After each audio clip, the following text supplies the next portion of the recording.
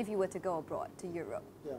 who, which team would you have liked to play for? I love AC Milan. Um, obviously, clubs like you know Bayern Munich and uh, Madrid and um, you know Barcelona. Those teams are fantastic.